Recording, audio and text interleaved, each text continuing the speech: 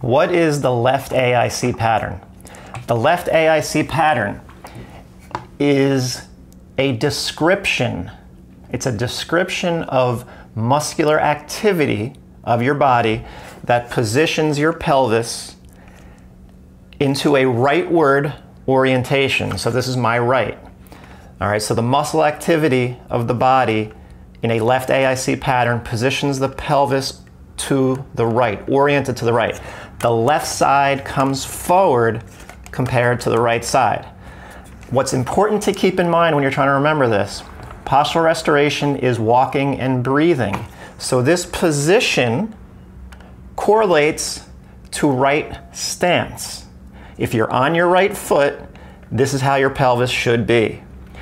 When you go to your left foot, you should be in a right AIC pattern. So the pattern should switch.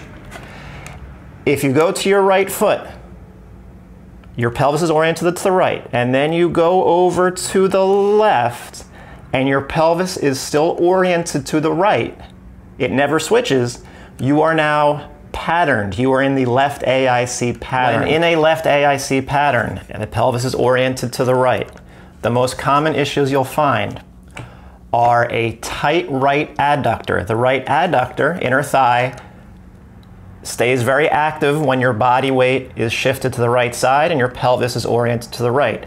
It should turn off when you go to the left. But since your pelvis stays oriented to the right, the right adductor stays overactive. The left hip flexors, the TFL and the psoas and the rectus femoris, tend to be overactive, holding the pelvis on the left side forward. Also, on the left side, in the, in the back of the hip, so if this is your leg, when the pelvis orients to the right, the leg has to turn out in order to stay straight.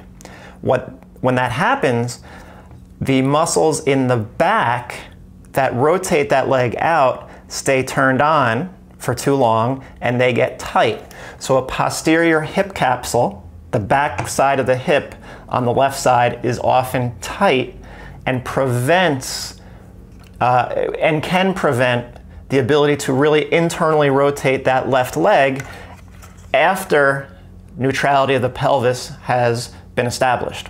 So a tight left posterior back hip capsule.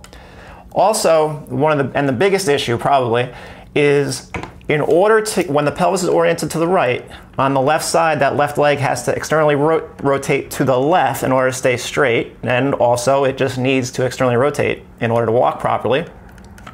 In order to get that range of motion that it can't get because of the position that the pelvis is in, the front of the hip capsule, the anterior part of the hip capsule, the ligaments, will often weaken and st well, stretch out and weaken because of that necessary external rotation of the left leg. When that happens, you develop instability in the front of the hip capsule, and that can cause all sorts of issues. That is the big one. The front anterior hip capsule ligaments get stretched out because of the range of motion that's required and it can't get. And the only way your body can get it is by blowing through that hip capsule.